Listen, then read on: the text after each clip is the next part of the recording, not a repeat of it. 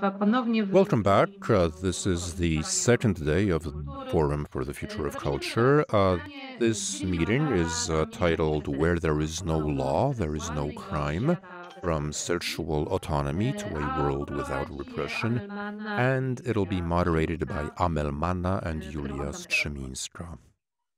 Good afternoon. Uh, first of all, I wanted to say when the idea for how uh, we came up with uh, this uh, debate, we wanted a discussion around ways of uh, conceiving of uh, alternatives uh, to the social reality we have, conceiving of an alternative state, an alternative social reality without a state it was a fairly broad topic, so we wanted to anchor it in something more tangible, more specific. Uh, we believe that thinking about alternatives begins with ideas as a, a question of uh, ideology, and that's uh, the way we wanted it to go. So, decriminalization and uh, legalization our starting point for that was what happened around abortion. For many years before, we uh, were uh, talking about what type of abortion law we need, but then a uh, movement um, stepped forward and said, uh, What do we need an abortion law for? And uh, we thought that perhaps uh, we weren't asking the question properly, uh, since uh, perhaps the best law is no law at all.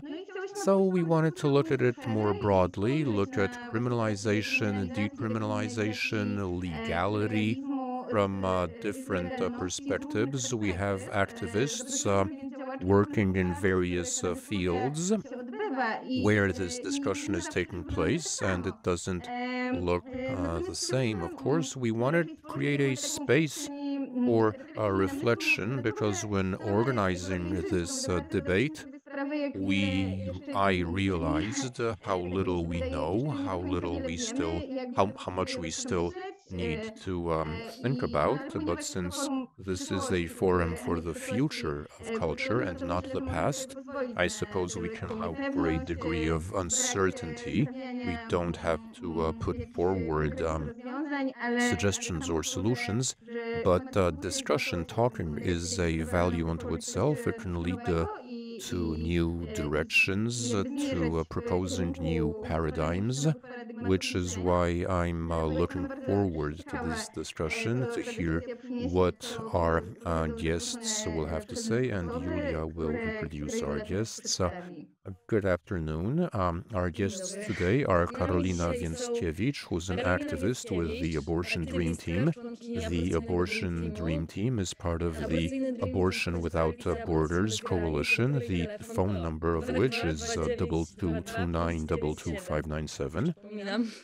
Agata Dziuban, who is a sociologist at uh, Jagiellonian University uh, Institute of Sociology. She's an outreach worker and a translator. Uh, researches the situation of uh, sex workers in Poland and Europe. Magdalena Bartnik is an addiction therapist in the uh, Precursor um, Social Policy Foundation. She specializes in harm reduction, a researcher and a practitioner. Ola Ziemiańska is an activist who Działaczka związana z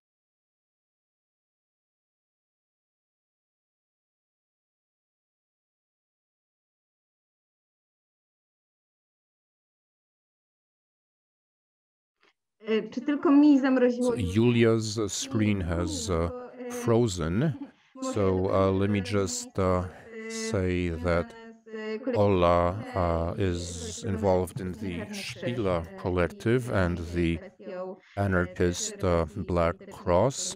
Uh, she is involved in various areas of um, anti-repressive initiatives. And uh, we wanted to begin with a question that might uh, open up the discussion. and ask um, and begin by asking uh, Karolina what uh, decriminalization of abortion means practically. So, what's the difference between that and uh, legalization? Why are you calling for uh, decriminalization? So, what does that involve? I'll try to be brief and um, talk about the practical dimension. Um, when talking about uh, decriminalization, I'm in favor of deregulating abortion. I think that uh, legalization as a process is generally harmful, but um, uh, I think decriminalization will be sufficient, although uh, not in all aspects, but I'll get back to that. I think that uh, criminalization is the product of the abortion law, namely the outcome of legalization of abortion, making abortion um, legalized, uh, regulated, by which I mean regulated and uh, governed by certain principles that say when you can and when you can't, that define, that limit access to abortion, that uh, define who is entitled to abortion and in what. Uh, so I'm saying that all abortion law is anti abortion as it stems from the belief that abortion is bad and should be restricted, abortion stigma, which is uh, perpetuated because it involves the criminal code, the penal code, uh, a code which is uh, very fetishized, I would say, and which is uh, believed seen as a reflection of um, moral standards, but it also uh, imposes moral standards by saying what's right and what's wrong. And uh, abortion, as defined in the criminal code, actually is uh, seen as something wrong. decriminalization, practically in a Polish context, would mean being more, uh, would be the state uh, being more okay. So, I mean, today we can have abortions, but the doctor who performs the procedure in Poland, or the person who helps us buy uh, pills, or who pays for the pills, or who drives us to the doctor, that person risks a criminal liability. So 98% of the people who need to have an abortion uh, in Poland are not, I mean, the state's not interested. The state says, do what you want. I won't put you in prison. Your abortion doesn't concern me. You can go abroad. You can buy pills. I don't care. That's what the state says. Uh, the state only performs uh, abortion uh, in a limited extent uh, and only as, as long as you find a doctor willing to do so. Um, but for me, decriminalization would be um, consistent with the state uh, not being concerned with us. And I'm not talking about the Law and Justice Party, I'm talking about the Polish state over the last 30 years. So, decriminalization for me would be uh, consistent, would be coherent. I mean, uh, the state says, I don't care about your abortion. I don't care who performs the abortion, who helps you, do what you want. As the state, I cannot, I will not uh, provide an abortion at a hospital. I will not provide pills. I will not write out the prescription. But if you want to do it on your own, then uh, do it. I will not uh, criminalize people in your surroundings, in your environment. I mean, people say, so what's the point? I mean, you can have abortions. We have uh, freedom to perform abortions to some extent, but they are criminalized, and the people around us, the people supporting us, are at risk, but it also perpetuates this uh, stigma. So uh, the state is saying, uh, we don't care about you. Uh, we don't care how you'll perform the abortion, whether you can afford it, whether you um, have to take out a loan or get in debt, or whether Abortion Without uh, Borders will uh, pay for it. It spent uh, 300,000 zlotys financing uh, uh, abortions for people in Poland uh, who didn't have the money. Of course, a lot more people in Poland paid for the abortion themselves. But uh, Abortion Without uh, Borders uh, provided, supplied 300,000 uh, zloty worth of help. So uh, prosecuting abortion is not the first, is not the priority, nor was it a priority for any government. But we need to be aware that criminalizing abortion sends a message. You're saying, uh, we don't care about you, but you're supposed to be afraid of uh, liability. If somebody supports you, they risk uh, uh prosecution. It's uh, bad, and uh, generally, so. and not everybody in Poland knows that having an abortion is is not a criminal act. so uh, somebody will denounce you. There's this fear that they'll take your children away, they'll fire you, they'll strip you of your rights. And there's this atmosphere that's created. So uh, we don't really care about you. Okay, I won't put you in jail, but the people around you, I'll, the state will prosecute them just uh, randomly. But uh, the message is that abortion is bad. It's in the criminal code, and you're supposed to think about abortion as if it were a crime. I mean, abortion itself is not a crime, but at a symbolic level, abortion is associated with criminality, even if uh, having an abortion yourself is not a crime, and that's uh, um, a basic right? But um, so that's what it. That's the message. I believe that decriminalizing abortion would uh, reduce uh, the stigma, would uh, and would be a great step towards normalizing abortion, towards and so we shouldn't see it uh, in terms of a crime because of course you can have crimes associated with abortion with uh, people forcing uh, someone to have an abortion but we don't need a separate legislation. We don't need article 152 or 153 because if somebody's uh, health suffers or if somebody dies during a backstreet abortion, then we have the criminal code. Uh, so it's not a lethal abortion. We can have manslaughter or homicide, and that could be the charge of failure to provide uh, help. Uh, so for me, decriminalizing abortion in practice would be a step towards uh, destigmatizing it. And it's not that we can expect uh, something in a hospital. Abortion wouldn't be legal, but it would be free from this uh, stigma, this dimension of criminality. It would be uh, so it would be more consistent uh, because now it doesn't really make sense. It's not coherent. It, and in practice, uh, this would mean that we can do what we want with our pregnancies and not uh, put people helping us at risk.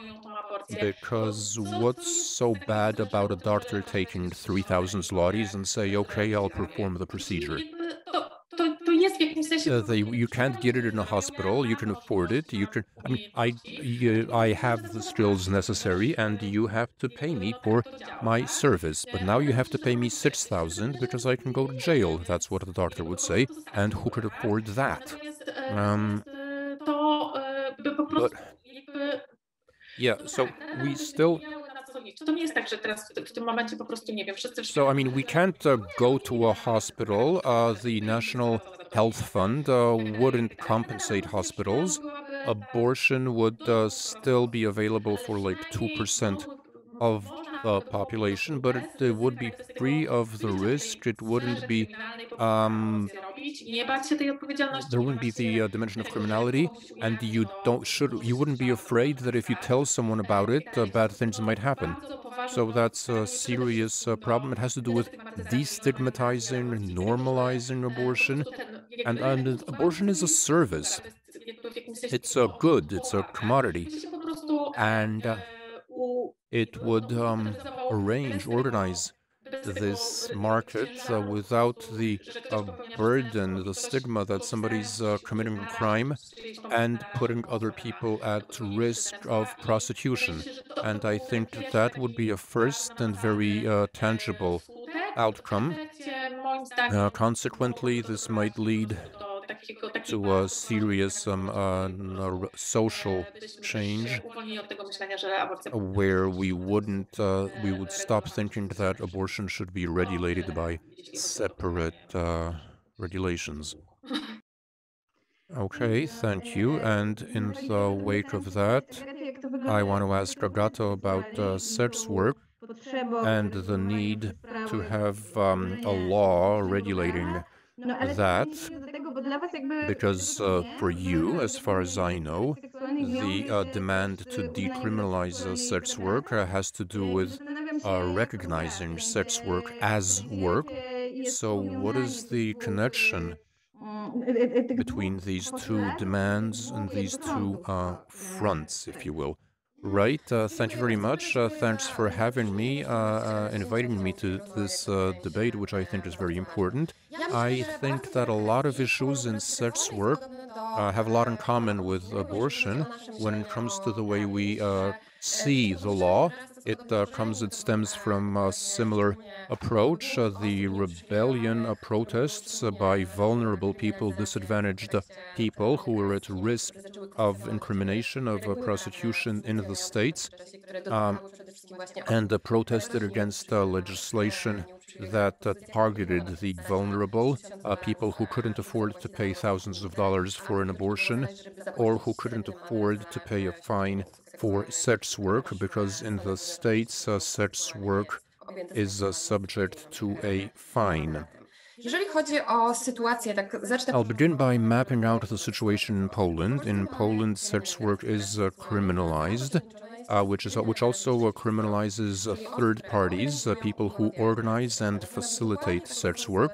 So it's exactly like it is in with abortion. Sex work as such is not criminalized or penalized, although it is by the misdemeanor code of misdemeanors, which prosecutes soliciting and the police uh, understand this, interpret this uh, arbitrarily.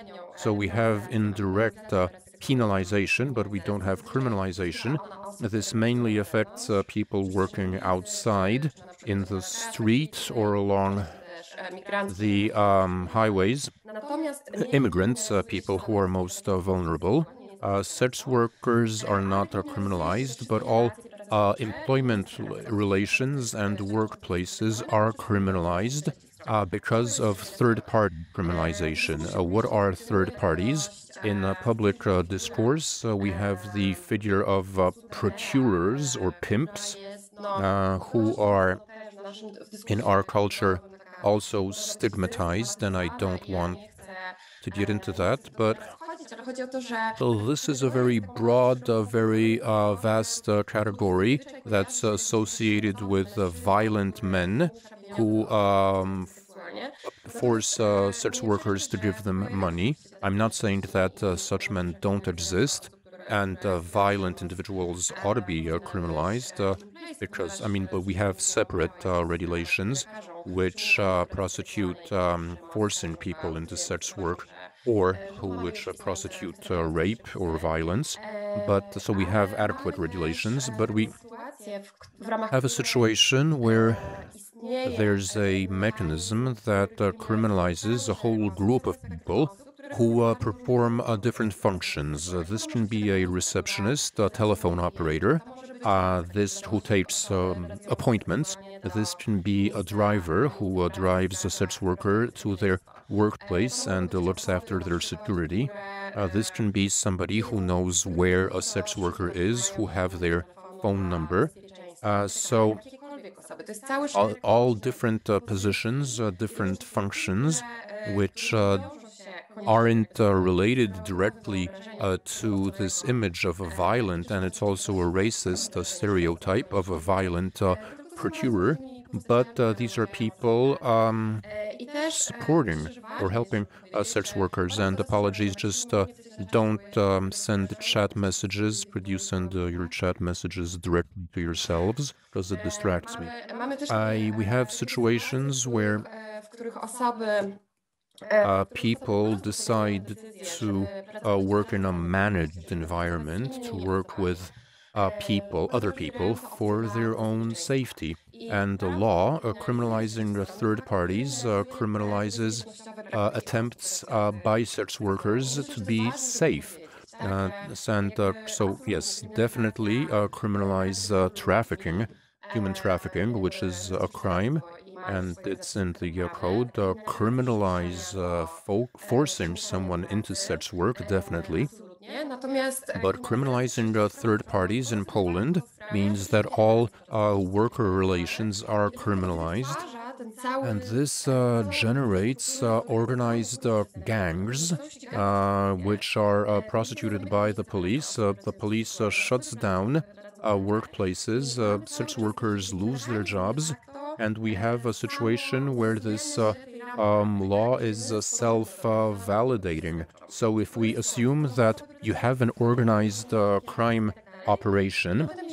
Which includes uh, drivers and uh, telephone operators or um, people who are in charge of appointments and uh, sex workers, then we have a whole um, system. And uh, sex work is additionally not seen as work. Uh, sex workers with uh, no security have no security. Um, W związku z czym And, uh, so sex work is uh, defined in terms of uh, criminal law, but not in terms of uh, labor law, which would be a mechanism that would give sex workers some sort of uh, protection. And uh, this is where we have the I don't care about you, but we want you to be afraid. And it's the same uh, mechanism that uh, Karolina described,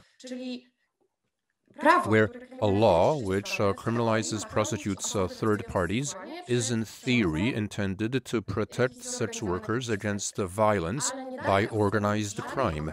But it doesn't give sex workers any protection against exploitation in everyday work and any protection against uh, violence at work, nor does it give sex workers any uh, tools uh, to protect any way of protecting themselves from uh, exploitation. I call it institutionalized abandonment, where uh, sex workers are left to themselves, left to cope uh, for themselves in when dealing with uh, exploitation. Only sometimes there will be police raids on the workplace in the workplace, and they'll be left without a job, even if it's a good. Uh, if they have a good employer, they have a good organization, they feel safe, uh, they have. Uh, um, security, but uh, the police treats such workplaces like any exploitative environment. I odpowiedzią na to And the masz, odpowiedzią na response to strach, tak? Here is fear, as Karolina mentioned, by criminalizing the workplace, by criminalizing your uh, work relations. You have a situation where uh, you're afraid that the police will come and uh, shut down your uh, workplace and you'll be left in the lurch. Uh, recently, uh, we wrote uh, that about uh, raids uh, in uh, police raids on workplaces which employ uh, migrants. Migrants, uh, migrant sex workers lost uh, their job. They were left without any income. So the police comes crashing in in shining armor, saying that they clamped down and broke up a gang while doing nothing about the security or the precarious uh, position of uh, the sex workers. Uh, instead, Akurat o tym nie opublikowałem czemu, ale normally uh, pol- they there will be articles where the police uh, boast of what a good job they did, although uh, they did leave uh, sex workers without any uh, resources. jakby jaki, jak And co zadziała w tej sytuacji. Naszym, naszym our response by nasza, to mam na myśli us, I mean uh, the sex worker community, international networks uh, supporting sex workers, Amnesty International, Human Rights Watch, and other organizations are calling for decriminalization. We want to abolish all uh, criminality of uh, sex work. Uh, this can be, uh, for instance, so we would abolish the uh, provision or the law against uh, soliciting, which is sexist, where and it allows it gives police discretion to arrest women who are dressed provocatively and accused of uh, soliciting. And also, we would abolish uh, criminalization of third parties uh, because, again, it still uh, criminalizes the workplace of sex workers. And uh, so, again, we have the issue of legalization versus uh, criminalization. Uh, Karolina said that legalization is a tool for exclusion and uh, making abortion and introducing a hierarchy. So, abortion up until week something is okay, and after week something is not. And in Poland, we have this fetish of week 12 for some reason, and all left wing parties are uh, saying that abortion up until week 12 is okay. But if you find out you're pregnant in week 14, then sorry, you're not respectable enough, so you have to go abroad. And, uh, and this mechanism uh, excludes everybody te ramy 12 who uh, doesn't meet the 12 week uh, criterion. That's arbitrary. There are no medical reasons, it's uh, purely uh, arbitrary. And the same goes for legalizing uh, sex work. If we look at countries that legalized uh, sex work, a registration in uh, at the police station. So it's not criminal, but it's a threshold.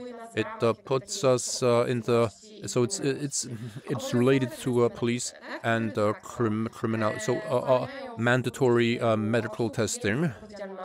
which means that the people don't have to look after their uh, medical their health because the sex worker is has been tested although this involves um, uh, for instance uh, clients demanding um, sex without condoms so uh, only uh, women who are single can work or they can only work in uh, uh, in the street or in specified uh, places they can't decide where they work and migrants are also uh, not able. Uh, so, so legalizing sex work only for uh, individuals uh, from the European Union and not outside. So a Polish uh, woman can work legally in Germany if she has a residence permit, but someone from Ukraine cannot.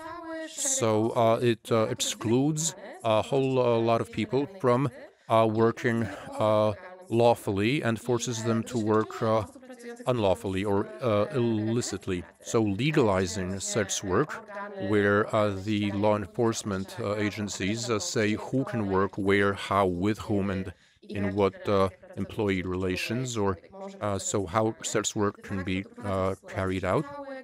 So, and the majority of uh, sex workers don't uh, fit the uh, criteria. They don't, uh, and they're left outside the. Um, they have to operate outside of the legal context, and uh, so they're left w innych krajach mm, in the same situation as it is in uh, countries which uh, criminalize. Uh, decriminalization does not involve uh, deregulation, unlike abortion. So decriminalization means that uh, decriminalization doesn't make sex work uh, um, special. It doesn't introduce uh, special regulations, but the services, because sex work is a service, just like performing an abortion, a medical procedure. So the whole sector of sex work uh, services is covered by uh, employment law, by uh, regulations. So if a country regulates, uh, for instance, any employee relations, if it has a labor code that says uh, how people can engage uh, occupational health, health and safety for various sectors, these uh, will apply to sex work, and sex work will be part, will be covered by existing regulation. And this is the case in which, in countries where sex work was decriminalized. So it's covered by existing regulations, but there won't be special, restrictive, exclusive, uh, um, exclu- and uh, regulatory um, regulations that are designed to punish sex workers. Thank you.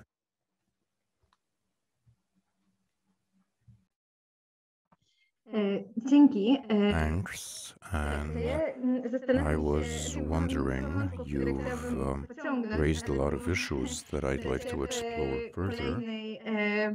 But maybe we can get back to that in the next part of our discussion. I wanted to ask Magdalena Bartnik podobnie to wygląda, bo wydaje mi się, whether it's uh, similar, zgodne al- z because I believe it's not exactly the same in drug policy.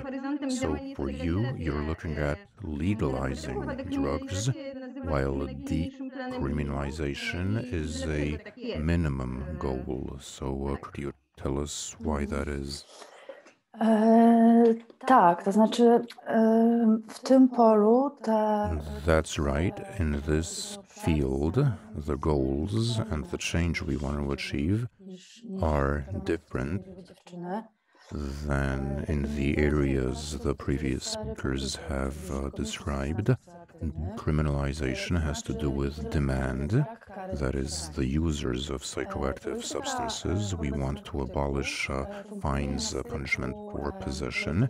Drug policy is at interface of health and criminal policy. And uh, it's at the intersection of uh, prevention, therapy, and repression. ze sfe- z tej And what's being done in terms of repression is in conflict, where it actually prevents uh, prevention and therapy. jest, em, jakby So, decriminalization would be the first step tym, żeby użytkownicy substancji psychoaktywnych, for users, którzy, których nie traktuje uh, się w tym people who- jako osób, które sprzedają, dealerów, not the people who sell or deal drugs, but people who use drugs. Jakby ich używanie jest So, the point is to treat using as a public health issue. Takie działanie podjęła, znaczy dekryminalizacja And this is this decriminalization of all psychoactive substances in 2001 was done in Portugal. Oni to nazywają sukcesem, to znaczy And they see it as a success używanie nie wzrosło. because the goal was achieved. Uh, drug use has not gone up. In fact, uh, the number, the numbers of uh, young users have actually gone down, and uh, HIV infection rates are lower, as are uh, as is mortality, as are deaths uh, caused by using psychoactive substances. So decriminalization is a priority, and it's something that people are calling for. to stop criminalizing users because that's a vicious circle. And if uh, users are criminalized, they're treated as uh, criminals and not as uh, people who are sick. Em, Kwestia w ogóle There's also the question whether users of psychoactive substances have to be defined one way or another. Uh, maybe we should see it in terms of freedom. Don't see them as criminals. Wymiaru sprawiedliwości, której ona It's not a law enforcement issue, nor obszar polityki zdrowotnej. see them uh, see it as a A, znaczy to się health policy issue. and this uh, perspective is becoming uh, viable when we see it in terms of legalization because the long-term objective when we're looking at drugs in the long term drugs rather than drug addiction so the goal the objective would be to end the war on drugs to move away from the prohibitive regime tylko znosi kary za posiadanie. because uh, decriminalization simply lifts uh, penalties uh, for possession, but distribution and production is uh, still done by criminal organizations. So, what changes is the situation of users because they're not criminalized, and this uh, destigmatizes them. It's easier for them to ask for help, uh, to go into therapy. They feel safer, but the market remains the same basically, and it's uh, governed by O, o takim the rules. celu. W tym the same rules. So, in terms of uh, long term goals, a goal that would be very far off, I mean, today we can call for decriminalization, and it's uh, the subject of discussion, but there are very many circles and uh, communities for whom it's uh, difficult to even to say the word legalization. And that's very difficult. Uh, you can't uh, work out a compromise or a consensus. But if anything is to change, jeśli, ma się, zm- jeśli dążymy do tego, żeby I mean, if we want to change the situation in any way, to nie może się zatrzymać tylko na then we can't stop at decriminalization. That's not enough. I mean, it's um, jakby mieli dostęp do, it does do opieki i wsparcia. help users get help and support najbardziej dotyka osoby because uh, criminalization affects uh, the disadvantaged and the marginalized, most non problem users, and most uh, people who use psychoactive substances are non problem users. Duże tak naprawdę. So they wouldn't be affected by uh, decriminalization because Najbardziej they enjoy privilege. e, And the people who are most affected, the people who are most harmed, are people from communities that are disadvantaged, that are in a difficult uh, uh, situation. And there's a lot of examples you can też I don't know whether we'll have time to talk about the world of the future, the way we see uh, legalization and where to szerzyć. Natomiast it would lead. So there will be time maybe to expand on that. But decriminalization is just uh, something that needs to happen, celem. On jest tylko, but it's not the objective.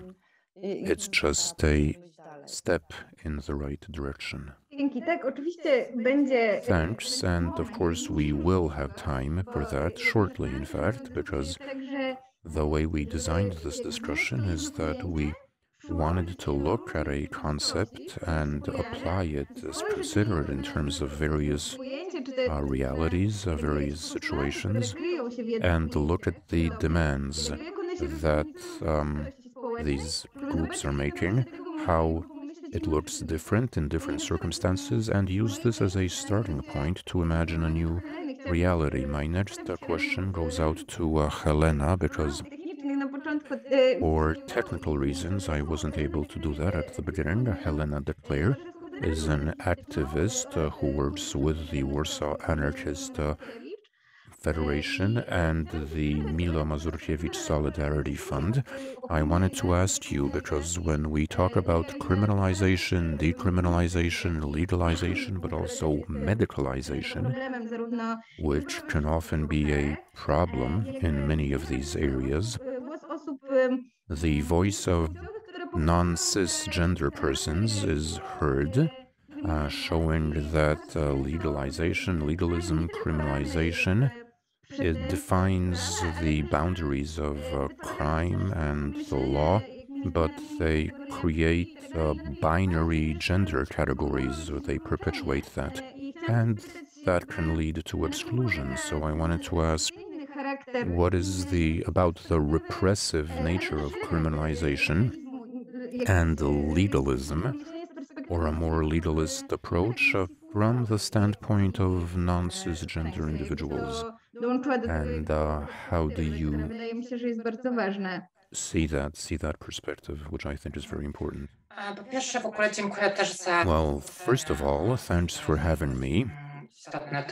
I think this is an important subject and i hope we'll be able Jakieś fajne wnioski wyciągnąć. thanks to discussion to come to some interesting uh, conclusions As regards the perspective of non cisgender uh, individuals, I think I can start by describing what it's like in our country to talk about the process, because in a way it is legalized in the sense that there's a path, a legal path that's been defined that people who want to reassign their gender legally. And this path this uh, procedure has changed. As far as i know in the 1990s szpital, e, który uh, you had to sue the hospital that wrongfully uh, assigned your gender at birth. Then it changed and now you have to sue your parents which shows that w pewnym sensie, no, że trzeba kogoś pozwać, trzeba I mean, you have to sue somebody, you have to sue your parents, and that in itself is not okay. No, And no, it creates the impression that these things uh, have to be settled in court, Więc, więc to jest taka, taki jakby no, co na pewno mi się nie podoba w tym wszystkim. And I'm nobody's happy with that. Nobody likes that. Dlatego, że no, sądy, And the whole idea that uh, doctors get involved, that you need expert opinions, that you have uh, people interfering or um, looking closely, because if you want legal reassignment of your gender, then you have to uh, submit uh, uh, expert opinions by sexologists, uh, psychiatrists, and um, psychologists. And you also have to pay to launch the proceedings, to file the lawsuit. You have to pay for the expert opinion. You have to pay to have an appointment with uh, specialists. And these are thousands of zlotys we're talking about, which in itself means that not everybody can afford that. And even you uh, have uh, your legal fees waived, which is difficult. Uh, you need to get the medical uh, documentation. And if you want to do that through the National Health Fund, it's uh, definitely not easy to get that done. I mean, it's possible, but uh, it does require waiting a long time. powoduje, że osoby And it also means that uh, people who need help zmienić swoje dane, żeby chociażby, nie wiem, change their personal data to be able to find work, leczenie hormonalne, no to uh, to get hormone therapy. jakimś testom realnym They are subject to so called real life tests uh, to verify że one nie, nie udają. if they won't uh, change their mind. If I mean, so there are a number of similarities that I see here, where the state imposes um, obligations. We have to prove, demonstrate that our mind is made up, that we want to do this, that we won't bail at some point, that uh, if before transition często poniżających sposobów uh, there's a lot of demeaning uh, requirements. Uh, for instance, uh, the courts uh, uh, or court appointed experts um, concluded that if somebody's not straight, seksualnej, no to wtedy if they're not heterosexual, tak, że są- then something's wrong with that person, nie jest tak naprawdę osobą transpłciową. and that person's not really transgender, but it's a different uh, situation. Jest też jest często k- konieczność dokonywania wielu So there's often the need to pass uh, tests uh, where they ask you about uh, details, sprawy typu, nie wiem, uh, tam, ile razy totally ridiculous uh, details, like how many times a day z kimś tam, do you think about having sex with someone, or they asked you about uh, your personal life, uh, they asked you about your dysphoria, and all these things. Well, if you're uh, grilled about that for an hour, it can trigger you, and the whole uh, process can re traumatize people who have it hard anyway. Because- I mean, being a transgender person in Poland, powiedzmy, no, ta traumatyzacja zaczyna się znacznie wcześniej. the trauma begins at an early age, Jeżeli ktoś nie ma usually, especially if you don't have a supportive family. Więc tak, no tutaj ta legalizacja jakby nam da, So, legalization requires that we demonstrate uh, things. You also need to be economically privileged, while in exchange, we don't get a lot. We won't get reimbursement of uh, basic, the cost of basic medical procedure. Uh, normally, people have to pay for the procedures themselves, and uh, transgender transgender um, individuals, an operation surgery can cost uh, dozens, if not uh, hundreds of thousands of zlotys, and uh, not a lot of people can afford that. So the only thing to do is emigrate and uh, try your luck um, in another country, in a country that uh, reimburses the cost of uh, procedures. Yeah, uh. So there's not a lot of uh, carrot, mainly mainly stick and no carrot.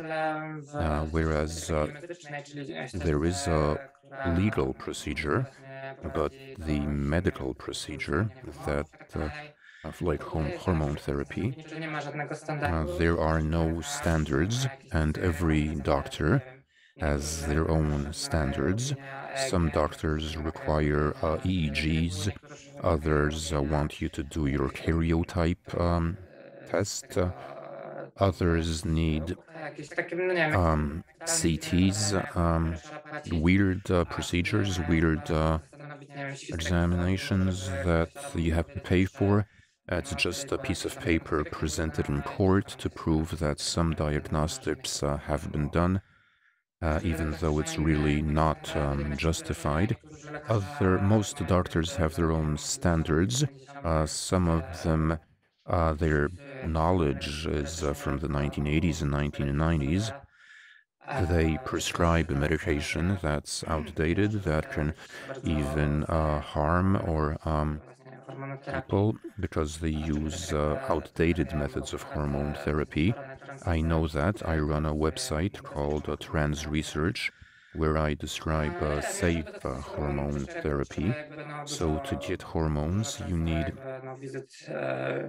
to have a lot of appointments, uh, real life uh, tests, uh, where the doctor expects that someone who's a trans woman who never had hormones and who doesn't, nie ma tak zwanego passingu. well, who won't pass as woman. So the doctor expects that the person comes to them wearing a dress because otherwise the doctor will conclude that the person is not a true trans nie puści jej dalej. um, gender person, and so it's a question of gatekeeping. While uh, you know, um, obviously, passingu się przez if somebody who doesn't pass as a woman, if they uh, walk across town or travel from town, from city to city, if they uh, travel wearing a dress, it's practically sure that they'll be a victim of violence, but not a lot of people realize that. And besides, uh, the binary mechanisms are very strong.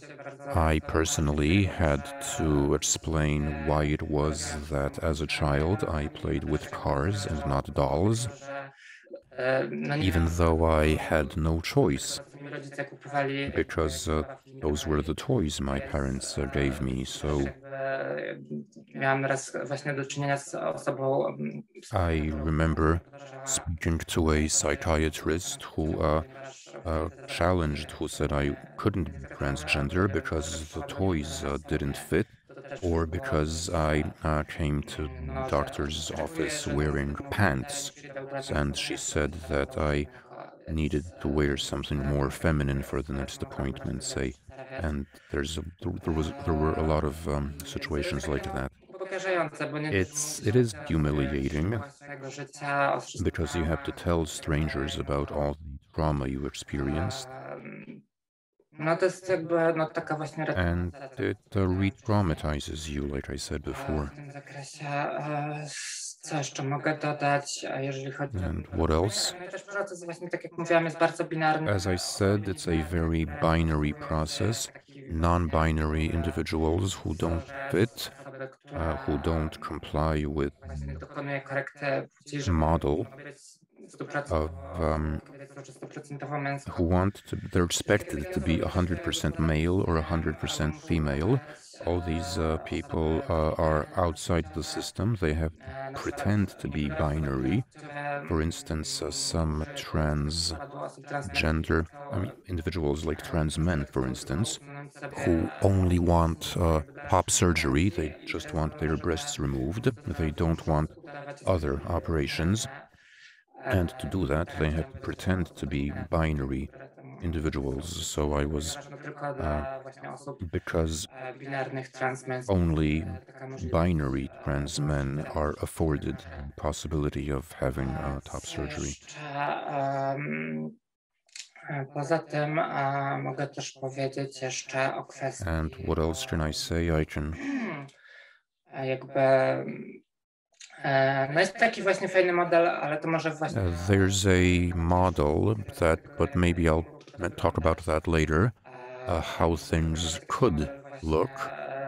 A model of decriminalization that would empower non, uh, that would empower transgender individuals instead of forcing them spotykający ich w jakiś to comply with a model that uh, forces them to be binary, troszeczkę jakieś udawać rzeczy, and so you have to often have to pretend things. You have to pretend you're straight. You have to pretend you're która, nie wiem, no, czę, często na przykład też jakieś rzeczy z przeszłości są wyciągane. pod- and uh, things are like dredged out from your past, e, even though e, transgender uh, individuals have experience that they don't want to share with other people. So there's a lot of things that I mean, I was going to mention something else I forgot, and my computer keeps uh, freezing. I can't uh, take a look at my notes, so I'll just uh, maybe end there and uh, I'll get back to these things later on. Thanks, sure. I think we'll have time for that, and um, we have some time left. So now I wanted to ask to look at the bigger picture and ask uh, Ola. Uh, deals with repression once it uh, takes part takes place. Uh, regardless of the area. And as a Szpila, you have experience uh, supporting uh, people who are the victim of homophobic uh, violence or people who resist in um, climate rebellion, anarchists, uh, people protesting against the ruling of the Constitutional Court. So very different areas. Opierają się bardzo And what you do um, na tych kluczowych wymienionych w tytule tegorocznego forum stems from Solidarności i Trosce. the values of uh, solidarity and uh, praktycznej here. So, as uh, hands on, as a person who has hands on experience of combating uh, repression, how does the language of uh, repression uh, affect the way you show um, solidarity uh, with people who are uh, being repressed? Mm, Uh, hi, that's a question I could spend hours answering, so I'll be I'll try and be brief. I'll start by saying that I'm speaking in my own name, and I identify not just as an anti repression activist, but as an anti penitentiary activist. Uh, this is a very important aspect, one which uh, involves the need to think about utopia, and I wanted to bring some utopian thinking to the table here. Uh, this is an argument often made against uh, persons involved in anti-penitentiary movement. So, what happens if uh, prisons are shut down uh, tomorrow? We'll have chaos, anarchy, and what do we do with all the convicts? That's not the point. Without a critique of capitalism, abolitionism won't help. So um, I'll be uh, thinking about how to reorganize uh, society so that it's not a capitalist uh, society based on exploitation. As regards uh, repression, solidarity, I'd actually go back and ask uh, what is the law as uh, we see it as anarchists and, and also in utopian thinking. So, do you know the law? What kind of acts of law we have? We have the Constitution, we have ratified international agreements, we have uh, statutes, uh, ordinations, regulations, we have the criminal code, the family code, the civil code, and there's a lot of that. And obviously, the Code of Misdemeanors, uh, we don't know the law in its entirety. Uh, we didn't make the law. We uh, were born in a system uh, where this law was imposed. We can't uh, disagree. We can't. But if we don't know the law and if we're caught by the law enforcement agencies, we're punished, we're uh, penalized. To prawo jest But very often, stosowane w sposób uh, this law is used in an instrumental way to criminalize, to intimidate, to curb people's freedom. No i w tym rozumieniu, And in this sense, wiem, w sensie, jakby nie było jutro prawa skodyfikowanego, if there was, uh, if tomorrow uh, there was no law, I'd still know how to behave. So, from my perspective as people, we have the ability to create to define ways of cooperating. And uh, nobody has to tell us what these rules have to be. I mean, you have absurd laws. Every now and then you have these uh, funny articles saying that in the UK, for instance, uh, you're not allowed to uh, make stickers with the Queen if the Queen's head is upside down, or you're not allowed to die in the British Parliament because that's illegal. I mean, we can laugh, but uh, the truth is that we're living in a system where these uh, regulations uh, are in effect and we're subject to them. And many people, uh, for not abiding by these uh, rules, end up in uh, prison, a remand prison detention center, police custody. So, as activists, even if we uh, don't accept that uh, law, if we protest against that law, but we can't go beyond uh, the law. And that's something I uh, see in terms of distinguishing between people who are victims of political repression and uh, not political repression. So, who is a person who is uh, uh, repressed uh, on political terms? Is but what about someone who's not uh, subject to political oppression? And examples I can give you uh, in terms of solidarity. So, I mean, obviously, we will go outside the precinct to protest if they arrest uh, uh, who's uh, an activist and a senior citizen. We love her. But uh, will we show the same, did we show the same solidarity last year when the police shot Adam in Konin to death? No. And I was following groups on social media, even radical uh, left wing groups, so weren't sure whether they should show solidarity. Okay, the guy was running from the police, but maybe he had drugs on him. But uh, we, I mean, we have no doubt. Mean, if the uh, police uh, maces a journalist, uh, we will show solidarity. But I don't remember huge uh, demonstrations, uh, protests, when a police officer choked uh, Rafał from Legionowo for having one gram of marijuana. clearly, we will show solidarity with people who organize a peaceful protest. But in July last year, when Margot was arrested for uh, allegedly vandalizing a van. There were protests, uh, even in the left wing uh, bubble. Uh, we're still being uh, legalist, and this is uh, hampering our activities because we, when we have to choose who we want to express solidarity with. So let's try and open our minds a little. And I mean, a lot of people in this country are being repressed, oppressed every day due to their underprivileged uh, position because they were born into the wrong family, in the wrong borough, neighborhood, in the wrong town. And in uh, closing,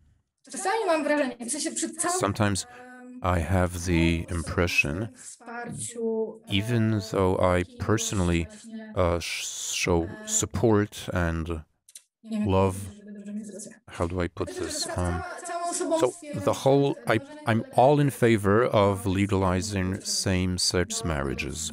I'm all in favor of uh, same-sex couples having the right to adopt, of legalizing migration. But I think my support um, should be up until the moment when these groups get that right, because they don't have that right at the moment. My objective, if I'm thinking of a society I want to live in, a utopian society. So that's a uh, society where legalization would not be needed. At, so at this point, I show solidarity. But if we think only about legalization and no further, uh, we can't uh, think uh, in utopian terms, and that's it. Okay, great, thanks. Super, dzięki. W związku z tym, Uh, seeing as the uh, statements were a little longer than we expected, we have uh, half an hour left, and maybe we can modify the question that we prepared a little bit. And also, based on what you said, or actually you've answered po prostu odpowiedziałeś the second question to a uh, związało z tym, jak certain extent, e, namely, who is excluded by in a world where legalization is normalized. Uh, so, who is uh, who can wykluczany, cared for and who is excluded, who is stigmatized.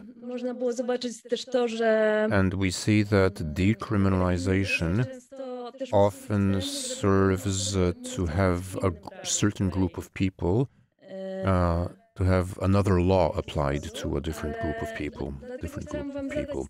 So I wanted to ask about language because many conflicts today unfold in within language. And I'm referring to the new language. You've uh, said a lot about stigmatization. So let's imagine a language in your fields and what type of mm, narratives would correspond to a language of solidarity and care, a language that could be applied to uh, usher in, create a better reality uh, in the context of the groups. You you're um, involved with. kolejności, która była na początku, So let's have Karolina uh, go first. Tak, dzięki. Ja też jakoś Right. I bardzo się przytrzymałam tego feel that I've uh, spoken about uh, criminalization a lot and not enough about what criminalization means, but ale gdzieś tam it does, it is connected. Wiele rzeczy z tych, które chciałabym And a lot of what I wanted to say właśnie o tym, jak- about the world we have um, because of uh, criminalization, but a lot's been said already. And it has to do with language because it is all very connected. So, briefly, I wanted to say what criminalization means when applied to abortion. And it does to ma też przełożenie Translate into language, a language of stigma. I think that the world of uh, criminalization is the opposite of what we want as the abortion dream team and other pro uh, abortion activists. Uh, so, what we want is radical empathy and radical trust. And because of criminalization, we don't trust uh, one another. We don't trust uh, people who decide what to do with their pregnancy. And we don't trust one another, each other. Uh, people who live in, in a world where there is a constant threat.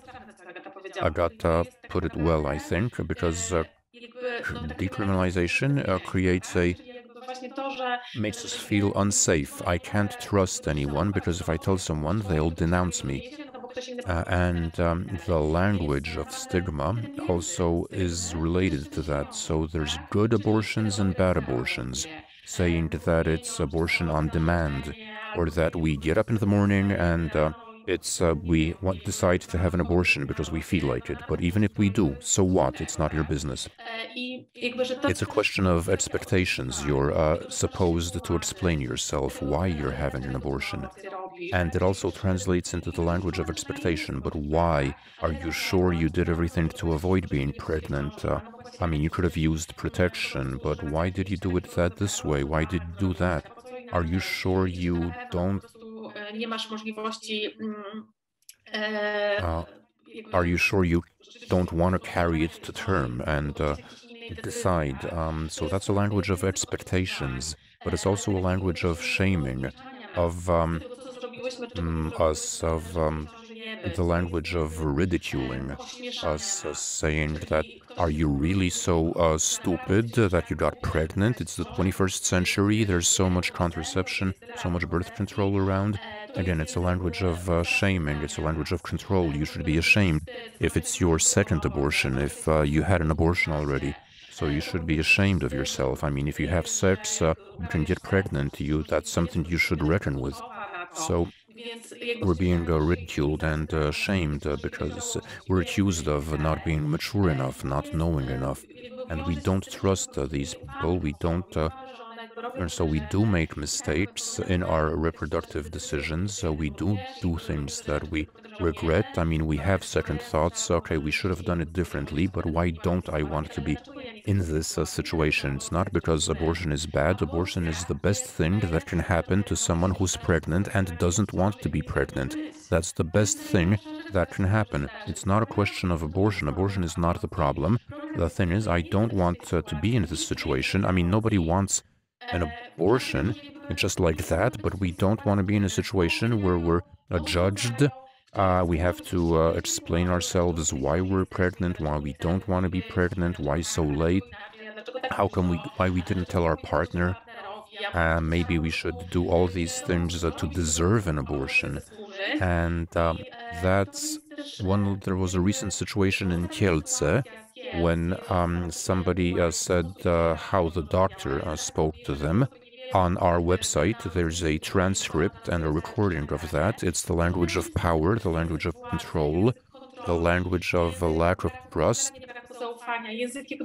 It's the abortion stigma, but also because we give ourselves, we give. It's uh, this. This goes for transgender people as well. Um, questions about what kind of genitals do you have? Will you do this or will you do that? It's intrusive. Expecting. I mean, it's like Helena said. You, you're. Why didn't you come in a dress? It's a language of control, expectation, people giving themselves the right to ask intrusive questions uh, and uh, to encroach upon uh, areas where you're not invited, that are none, none, none of your business. But because it's so stigmatized, because it's uh, so, it's an area where uh, society and a lot of people, uh, people who have power over us, give themselves the right to encroach, uh, to judge us. And like what Ola called a legalistic uh, attitude is has to do with a fetish of criminal law. I mean, I can support Margot, but not if she assaulted someone. If she hit someone and uh, vandalized a truck, then she damaged uh, property. Okay, I'm a lawyer myself, but uh, frankly, I'm a special kind of lawyer, but I really don't know all these uh, acts by heart. But frankly, so uh, I uh, give myself the right uh, to uh, demand that this person uh, work to get my solidarity, my support. Because if you don't uh, act the right way, if you go to bed with the wrong people or the wrong way, then you don't deserve it, you're stupid, and you don't deserve to have an abortion. Or if you did uh, go somewhere, then you're cool because you're fighting for um, non binary rights and LGBT rights, so we're all happy under the rainbow. But again, you have to be behave and uh, deserve to uh, uh, for me to show solidarity with you. So it's all about uh, control, and the law uh, normalizes this control, these expectations, this lack of empathy, this lack of trust. And uh, what what we want is radical empathy, radical trust, and radical empathy is not that I'm so big-hearted that I understand and I feel compassion for everyone. That's impossible but uh, that's not uh, necessary for me to show solidarity and care. However, the law, and it's what this uh, forum is about solidarity and care. So, solidarity and care are made, are penalized. They say, okay, you're supporting someone, but that makes you a uh, criminal. Screw that. I will help, I will support people, even if you call me a criminal because what I'm doing is good. But somebody decided, and I totally agree with Ola, somebody decided that they'll call it aiding and abetting, and in violation of the law on abortion, and nobody will remember what uh, Andrzej Marek and Andrzej Zoll wanted in 1996 when they were writing the criminal code. What they wanted was um, not to develop, uh, not to encourage illegal backstreet abortions. I mean, that was the uh, reality. So either you had a, an abortion at a hospital or you went to see a private uh, practitioner who did it for uh, money. So it was. It's not a question about me putting on stickers uh, uh, advertising abortion without borders and online. And I'm looking at you, penal dogmas. Will uh, a sticker saying abortion without borders uh, will support you? Is this aiding and abetting? So this is the language of uh, intimidation shaming and um, and you can't do anything because if you tell someone that they can uh, call a phone number and find out where you can get an abortion, or if you uh, drive someone to the border, is it a crime uh, before the po- mm, in Poland or before you cross the border, or if you give or pay for pills? So. Uh, uh, this expansion of the criminal code. The criminal code does mention aiding and abetting, it mentions helping uh, someone, a specific person who's uh, pregnant and who stops being pregnant as a result of our assistance. But uh, sticking a sticker on a lamppost uh, saying, You want an abortion? Here's a phone number.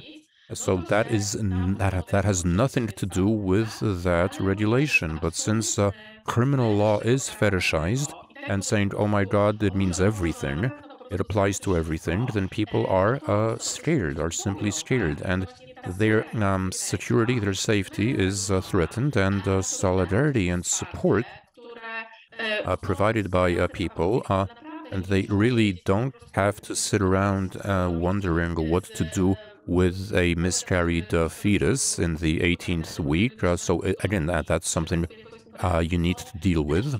So these are cases where we are at risk, but uh, when somebody um, reports you to the police for stickers, so uh, somebody came uh, to the police station with a bunch of stickers and says a crime has been committed, and the police uh, um, decided to launch proceedings, uh, an inquiry. So this aiding and abetting in abortion has become such a fetish, uh, such an obsession. But why? This has to do with normalization and criminalization. Okay, we have a provision, a regulation.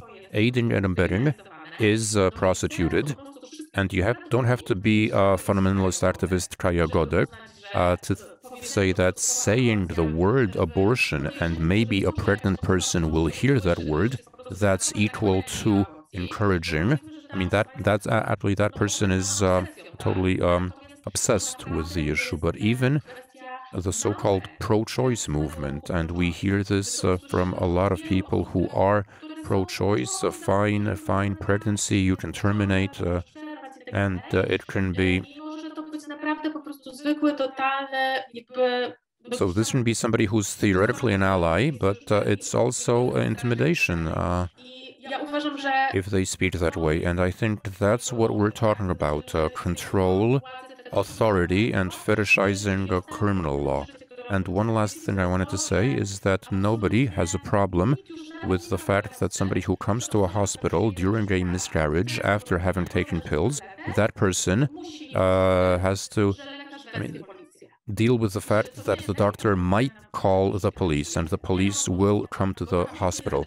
Uh, nobody knows why, because nobody's uh, hiding or destroying evidence. Even if the doctor believes that they have to report a miscarriage, uh, they uh, can't say what um, crime has been committed, but they hear abortion pills and they grab their phone and the police shows up. Why? Because there's this fetish of criminal law, this expansion, uh, this intimidation, this and the normalizing um, practices which are in totally ridiculous, and that's it. Super, dzięki. Wow, thanks. Agata? Agata? Dziękuję. Ja muszę. I have to thank Karolina for um, saying a lot of things that I can uh, relate to now and follow up on. The language used to describe sex work in um, discourse in the right and the left, uh, the dominant language, language which uh, dominates in uh, also in feminist spaces is dehumanizing, objectifying, and offensive for uh, sex workers, starting with the P word, which uh, places uh, sex work in a context, in a criminal context uh, that's very broad. Uh, then the visual images, depictions of sex workers in the media. A few uh, days ago, yesterday, I think, in Gazeta Wyborcza, there was an article which I found shocking, frankly, as uh, someone who uh, who's a researcher and an activist. So it was shocking for me that in the 21st uh, century, a um, newspaper that considers itself to be progressive uh, publishes a photo of uh, sex workers that's uh, objectifying, accusing the business of objectifying and very offensive depictions of sex workers without even giving thought to the fact if the people whose uh, images were used uh, gave their consent. I'm uh, totally sure that uh, they didn't uh, give their consent and that these persons might be recognized. Więc ja myślę, że to jest bardzo, bardzo ciekawe. So it's, uh, I think it's very interesting. Actually, it's uh, horrible and uh, scary, but uh, it also uh, emblematic of the way we speak about sex work in Poland. Uh, that sex workers are often um, mobilized, uh, exploited, and they're used uh, to um, gain capital if people want to get attention polityczne, jak or if um, they want to vilify uh, like left-wing politicians, for instance, which was recently done by a conservative newspaper. So that's one issue, uh, the question of uh, sex workers being uh, used to w takich rozgrywkach um, for political gains or political ends. bardzo, bardzo tym, co And also another thing that's important uh, for us in terms of language is this uh, moving away from a language uh, that dehumanizes, objectifies, uh, stigmatizes, and re traumatizes. A language that's in line with uh, the language of control. So, the language of prostitution, the term prostitution, because this is a modern legal category.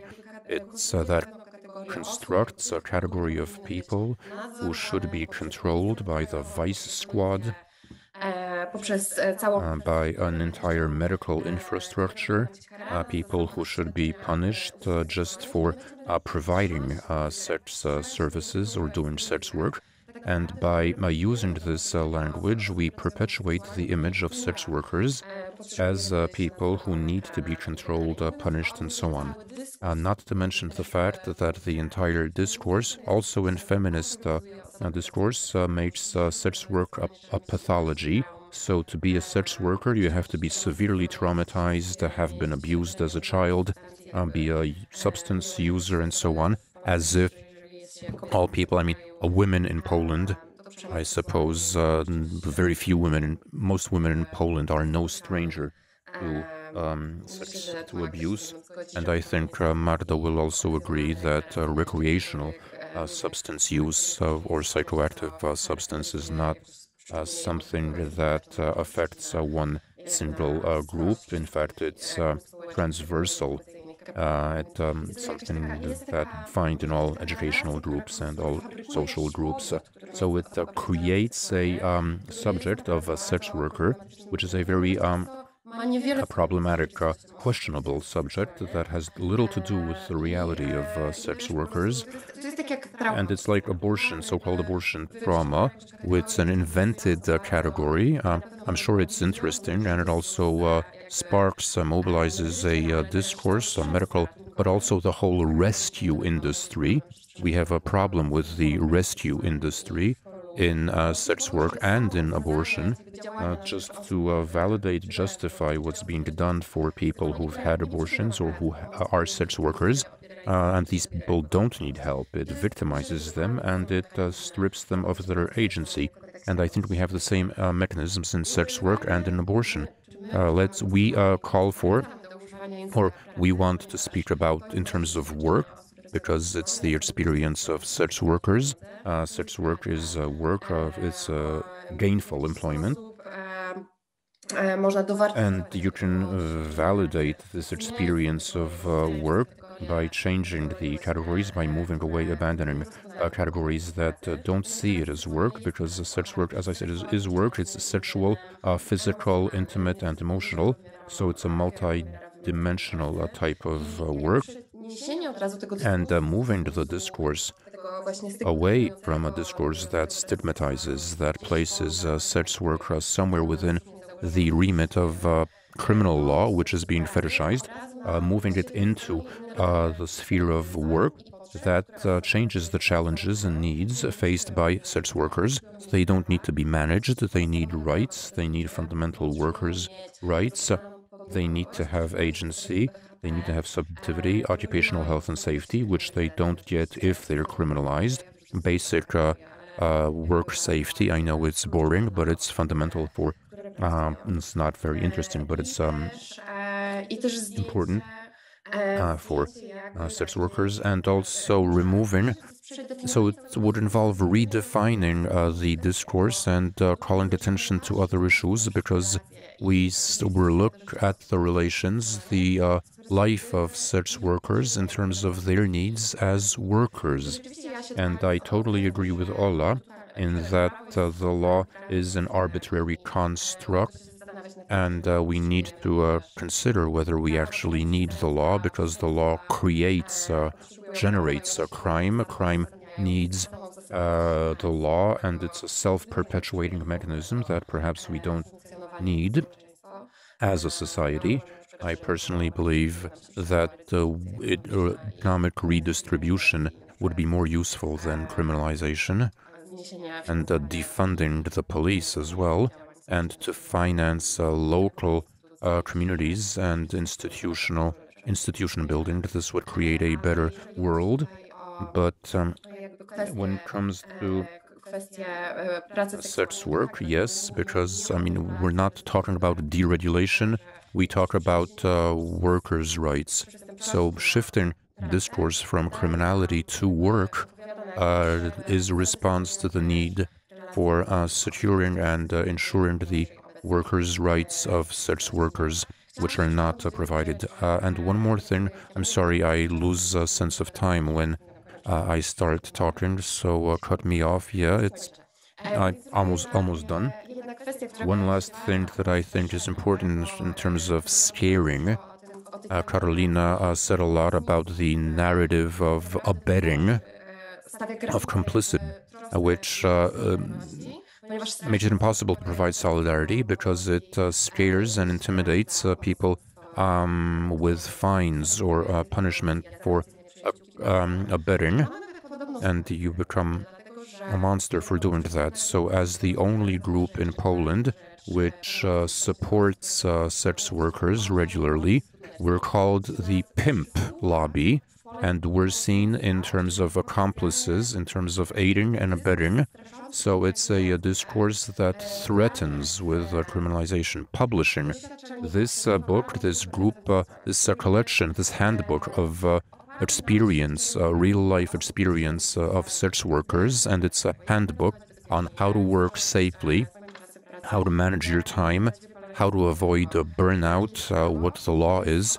So, for, for publishing this, We've been accused of encouraging, of uh, luring people into sex work practically, and uh, it's also seen as pandering, procurement. So the discourse used to describe us, a self organizing uh, group, is a discourse that uh, intimidates us and uh, that criminalizes us potentially. So, as with aiding and abetting, this is a mechanism that's uh, meant to restrict and stop, prevent solidarity and support. Great, thank you very much. And now Magdalena Bartnik. I'll try and be brief. For me, when talking about language and criminalization of possession or criminalization of narcotics, it's like uh, Agata said, it doesn't affect everybody equally, and some people it doesn't affect at all. So, this uh, dehumanizing, exclusive, and stigmatizing language is the language used by this system, the war on drugs, but the war doesn't affect everybody the same. And that's uh, crucial when thinking about what decriminalization should be, what kind of a chance it gives to stop the irreversible uh, damage that this uh, policy has uh, caused the irreparable damage.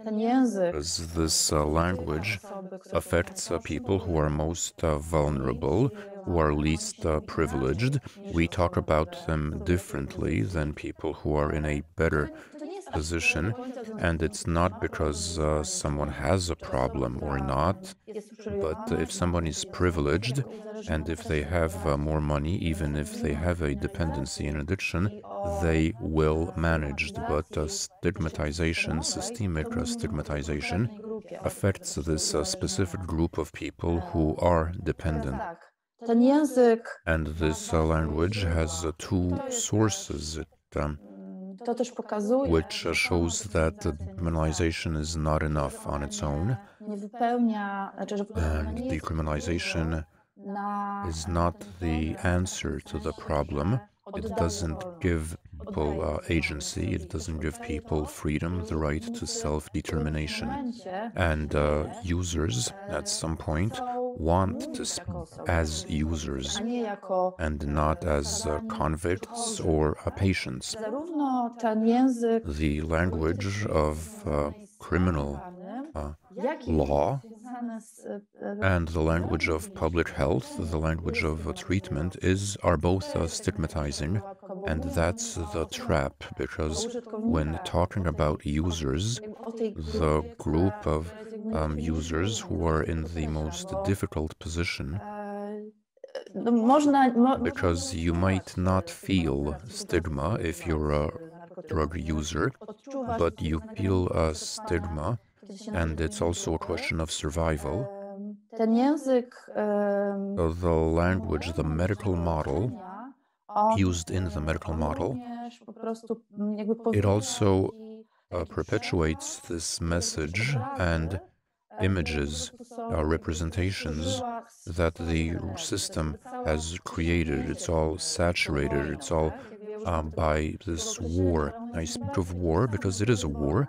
It's a war on, it's a war against uh, users. It's a war against everybody, but not everybody is an easy target. Uh, so- podkreślanie bez końca przez te środowiska. Users uh, speak about the stigma and discrimination that always comes up in the first uh, uh, sentence, and it's hard to imagine that discrimination itself powoduje, że, nie wiem, że, że to can change anything. I mean, obviously, these people are no longer kategoriach, osób, treated as, uh, people who, Uh, have um, charges for illegal possession, but they're uh, placed in a different context, and uh, that's not a solution. And let me refer back to what I said before about uh, legalization. That might not be feasible in the near future. I won't live to see it. But uh, maybe one day my children might not live to see it either. But again, uh, perhaps one day it's a it's a far uh, it's a long-term thing. This war is um, rooted. It's part of the capitalist system. It had a racist. It was racist in origin, idealnie and it fits in. It's part of this world. I don't know. Can you imagine a world without a war on drugs, or the U.S. without a war on drugs? It's like an inherent, imminent part of the way we think and uh, the way we see it. Uh, legalization, which would be based on speaking about freedom. Freedom, regardless of uh, how dangerous uh, uh, the things you do are. Your body as your body. As long as you're not harming anybody else, you have the right to decide about your body. Some things you do are safe, others aren't. Uh, you do things that some people consider dangerous, but you don't. So it's uh, decision making, and um, that's the strongest and the position of all user movements is that we don't want to be as criminals, but we don't want to be patients either. It, you have to understand what dependence is and whether it exists in the first place. Maybe it doesn't, so you have different models. But mówię o tej legalizacji jako jakiś taki I'm talking about legalization as a uh, fantasy i o tym, że na, jakby na tym and um, something that you might have in the future. And only then will you rid yourself of the control, of uh, social control, of legal role and say what. So it's a question of self determination. It's our choice, even if we made the wrong choices, or something that. I mean, people say that uh, people who uh, are addicted don't have a choice, but it's not as simple as that. Uh, so it's a question of renouncing or giving back to users a nie tylko and not just uh, fighting for their rights or the right uh, to treatment, same mogą decydować, but letting them decide, giving them a say.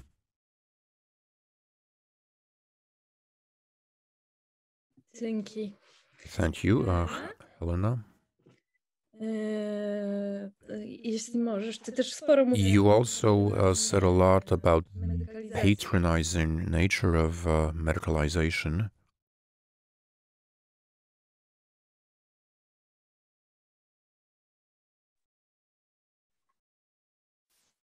Aha, hej, so- sorry, mi się strasznie... I'm sorry, my connection keeps uh, breaking up. I don't think I heard the question.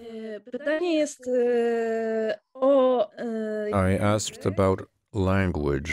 Przeszło trochę, w, miał to być. em, I was going to ask about the language of solidarity care, but instead it moved on to the way criminalization stigmatizes and excludes, and uh, while medicalization is patronizing.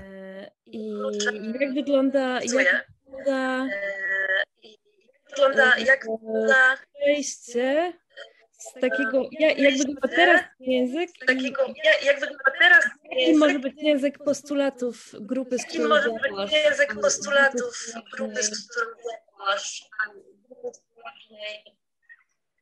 E, przepraszam. I'm sorry, I can hear myself. O, tak.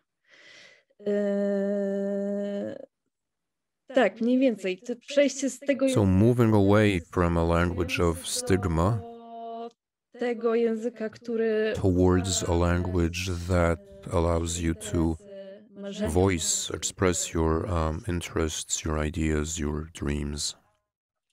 A, więc tak, znaczy no Let me że, no, język... start by saying that the language used to speak about um, transgender individuals can be uh, dehumanizing, especially as regards the trans women. I suppose it's due to the patriarchy, but um, people wonder how come a, person decide because some people think that it's a choice, that it's uh, done on a whim. A, How can anyone decide, they ask, to uh, give up their male privilege and uh, degraded and to- And um, I think that explains the stigmatization of trans women. These people are considered uh, unhinged uh, sometimes because, like, how can you do that? Which explains uh, maybe why you need so many uh, psychologists' opinion to check uh, to, uh, if you're sound of mind. But basically, it's also a means of control, an instrument of control. And then there are these slurs you find in the right wing media, which uh, think it's funny to that a guy dresses up as a lady, and there's nothing funnier, so it's um, hilarious. tym bardziej, bo And and that's why transgender people are afraid to come out of the closet. I personally uh, heard uh, people being mocked, uh, people cross-dressers uh, being mocked because for some reasons uh, in our society it's considered uh, funny for some reason. So that language doesn't help, and uh, it keeps people from coming out of the closet, from coming out. And uh, It has to do with uh, something you mentioned before, namely that a lot of the language used to speak about transgender uh, people has to do with reproductive issues because jest tak, że e, hormone therapy is seen as something that can uh, uh, damage or uh, take away your fertility. And surgery, uh, reassignment uh, surgery, also affects uh, your fertility, makes you and a lot of uh, doctors are afraid to diagnose uh, transgender people because they're afraid of uh, being prosecuted, of being uh, prosecuted or uh, taking away somebody's reproductive uh, um, capacity or whatever the uh, term is. So you have, I'm not a lawyer, so there's only a handful of uh, doctors who aren't afraid to uh, work with transgender people. These are mostly uh, sexologists uh, who have the privilege because as sexologists, psychologami i mogą jakby uh, for whom it's so it's easier for them to uh, work with transgender people. ponieważ właśnie to z- jakoś tam zgodnie because the law says that sexologists are the only uh, medical professional uh, who can decide about other people's fertility. And uh, there are very few of them, of sexologists, uh, sexologists and uh, so they use their position. Uh, like, I need nude photos of you uh, for uh, research purposes, otherwise, I won't issue an opinion. And a lot of people agree to that because they have no choice. They want to transition as uh, soon as possible. They want to get hormones, so they will do anything to get them. And another matter has to do with uh, fear, uh, inciting fear in uh, transgender uh, persons, saying uh, hormones are bad for you, uh, saying that you'll be seen as freaks,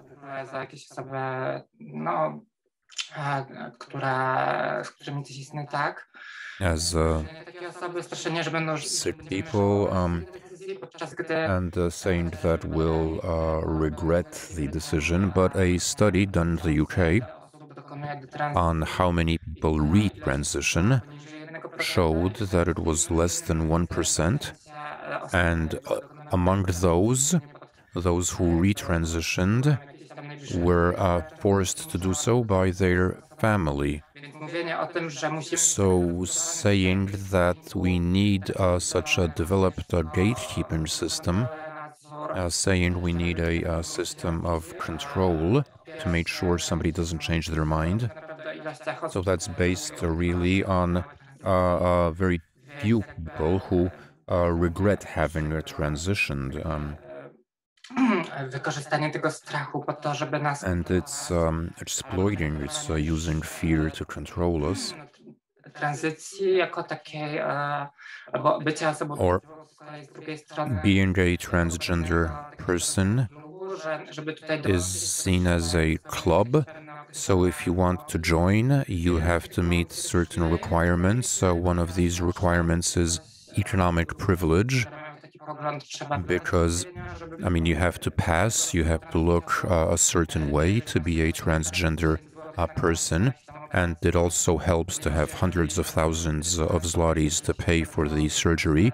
And this applies to trans women in particular because if you didn't begin hormones uh, as a teenager, it's difficult to undo, and you need uh, hundreds of thousands uh, for the surgery to um, undo uh, testosterone, the effects of testosterone, and or you need to be privileged. Uh, you need to have been born in the right family, uh, where your parents uh, allow you to uh, begin therapy at an early age. But not uh, many people in Poland, especially, can hope to have parents who'd agree to um, hormones or at least blockers.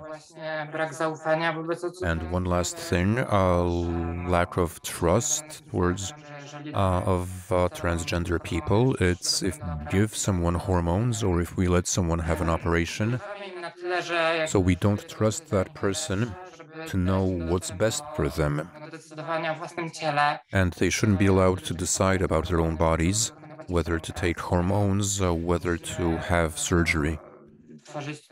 And so again, there's a system of gatekeeping that needs to be set up.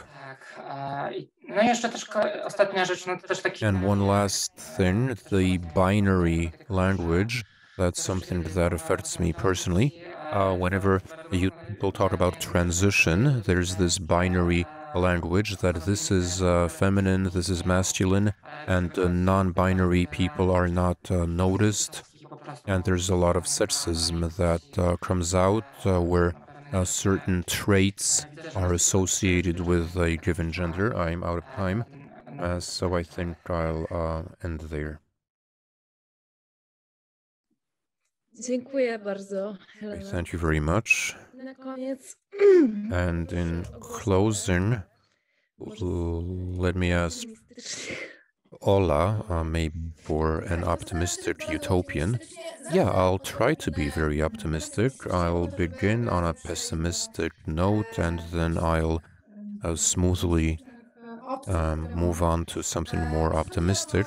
The options we have as regards language. Uh, first of all, I'd strike out the word crime, punishment, largely because zastępując je albo stawiając or uh, and I'd replace those uh, words or I'd emphasize the term damage and restoration, uh, terms that are not used in the system or are used marginally. Why?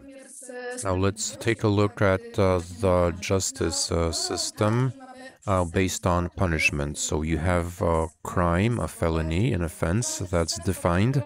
So you have so-called uh, crimes where it's not persons, uh, but the criminal code or the code of misdemeanors are um, harmed. The state is harmed, and it's the injured, and it's the job of the state uh, to punish people. So the responsibility to address the problem is uh, given, is delegated to an institution that's uh, to decide on what type of punishment will apply. The injured party has uh, very little chance uh, to say how they feel, how they, what happened to them, and they have no chance to verbalize, uh, express what their needs are. So this passivity uh, has to do applies to the offender as well as the passivity of the uh, injured party. They're both passive, and the same goes for the verdict. In this uh, justice uh, system, you either win or lose, and that's the language we use in court. I lost my case, I uh, won my case. You don't have win-win situations. And uh, in that light, uh, punishment is often seen as uh, vengeance. We uh, hear people who say, when the judge says, Well, I would have given that person uh, 25 in years instead of 15. Uh, so um, we have uh, nothing that can remedy uh, the situation. It's uh, vengeance and incarceration. And uh, the offender is a the uh, person who's the defender, who's stigmatized and sentenced. Not just them, but their whole family. And this stigma is something that everybody who uh, has a family member or, or a loved one in prison, but also everyone uh, who've had the police knock at their door. How would you feel if the police uh, knocked at your door now? What will the neighbors say? Will they point fingers at me? So punishment in this system affects uh, not just uh, people who've uh, broken a social rule, but also uh, more uh, people, a greater group. Another thing that I'd uh, strike out is the myth of the language as the uh, safeguard uh, of uh, uh, security. And here I want to uh, give you some numbers about pen- penitentiaries. So, if we do away with prisons, what do we do with murderers and rapists? Now, for some numbers, we have 74,000 uh, people in prison in Poland. Those who have been sentenced for rape and murder account for 17%. So, the uh, who uh, make up the majority of uh, convicts? That's theft, uh, burglary, aggravated uh, robbery. So, uh, which in Polish law are seen as are defined as crimes against uh, property. So, is that security? Are, does the law provide security for ourselves, our persons, and our health, or uh, security for our property? And you need to look for alternatives. Uh, one alternative is the concept of restorative justice, and something which is which I'm uh, more in favor of, uh, transformative justice. Uh, what's the difference? In restorative justice, it's a process uh, that we're involved in, that the person who was injured and the uh, perpetrator, the person who committed the act, it leads up to mutual understanding. Because if we have 30,000 people in uh, uh, convicts who uh, are in there for theft or burglary, do we ask ourselves why they did that, or what can we do as a society to uh, prevent these things happening in the future? No, it's easier to put someone in jail, to lock someone up for five to eight uh, years. And restorative justice uh, gives us a chance to be involved, to take responsibility, to take ownership of the process. Let uh, people who have been injured uh, say what they felt, uh, what happened, and let them decide what could help them uh, get back to the previous uh, situation or might even improve their position. Somebody who violated a social norm standard can understand what happened, can understand what they've done to another person, and they have the opportunity to be a part of society again and not be stigmatized. If uh, somebody uh, um, leaves prison, uh, there's a 25% they'll reoffend.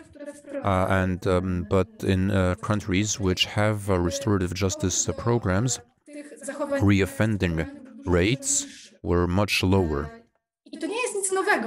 And that's uh, nothing new. Uh, restorative programs have been around for many years now, not just in Europe, but for some reason they're not uh, being um, supported because, at least uh, so I believe, because they uh, require that we be involved. They demand, require social change and uh, taking responsibility, ownership of what's uh, going on in society and responding to social. But there are examples, the Rojava community, the Zapatistas.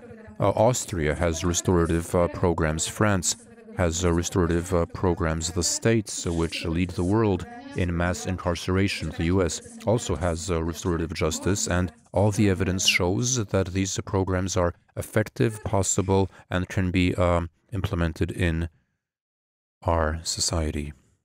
That's it. Thank you very much. I think it's time to end because we've gone over uh, the time limit. It was very interesting, and at this stage, I think uh, there's a lot of um, strands and threads that we could uh, discuss for hours, but I think we've managed at least to uh, mention uh, or address uh, topics that don't come up very often. And I hope that it will be continued, uh, at least uh, in terms of uh, coming up with an alternative uh, vocabulary language and uh, a solidarity that's not demarcated by the law. Uh, that doesn't lead up to a situation where we serve the law and not one another and not help one another. And that's what made it interesting. That's why it was so interesting to hear all these perspectives. Uh, but there were a lot of common uh, strands. Um, and I hope uh, this will be uh, continued. I hope there will be a follow up. Uh, thanks a lot for being here with us, for sharing your thoughts, and I think, and really, uh, thanks a lot.